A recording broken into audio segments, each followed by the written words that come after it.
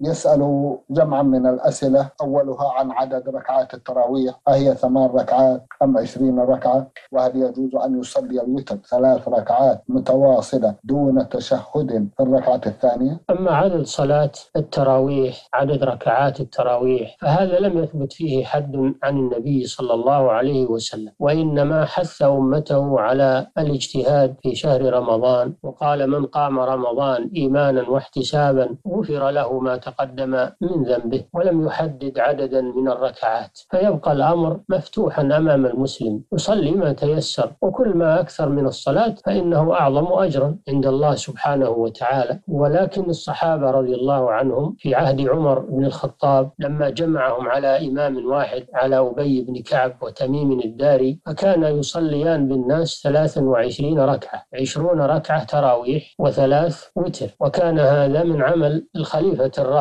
عمر بن الخطاب. وكذلك علي بن أبي طالب أمر الإمام أن يصلي تراويح عشرين ركعة. فهذا عمل الصحابة في محضر المهاجرين والأنصار وفي مسجد رسول الله صلى الله عليه وسلم.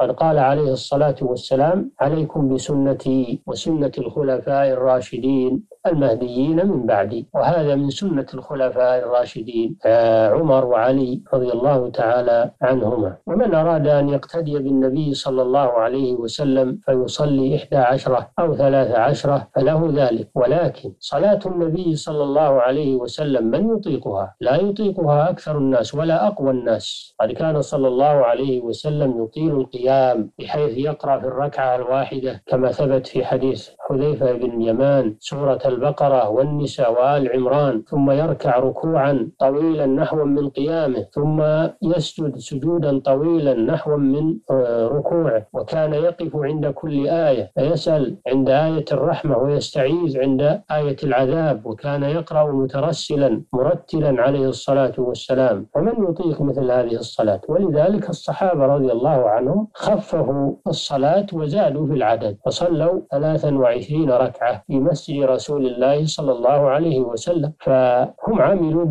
بالسعة ولله الحمد وأكثروا من الركعات لأنهم يخففون الصلاة. لم يكونوا يصلونها كما كان يصلي النبي صلى الله عليه وسلم بالصفة التي ذكرناها لأن ذلك يشق على الناس. قد قال النبي صلى الله عليه وسلم أيكم أما الناس فليخفف فإن فيهم الكبير والضعيف وذا الحاجة وإذا صلى أحدكم لنفسه فليطول ما شاء. والغالب أن النبي صلى الله عليه وسلم كان يصلي لنفسه وكان يصلي منفردا فيطول في صلاته. أما إذا أما الناس عليه الصلاة والسلام فإنه كان يراعي أحوال المأمومين حتى إنه إذا سمع بكاء الصبي خفف الصلاة رحمة بأمه. هذه سنة الرسول صلى الله عليه وسلم. أما من يقولون أنه لا يجوز الزيادة على 11 أو 13 في رمضان فإنهم غالطون. بل تجوز الزيادة وقد زاد عمر وقد زاد أبي بن كعب وقد زاد تميم الداري وقد زاد علي بن أبي طالب وحصل هذا بمحضر المهاجرين والأنصار فلم ينكروه الأمر واسع ولله الحمد. نعم.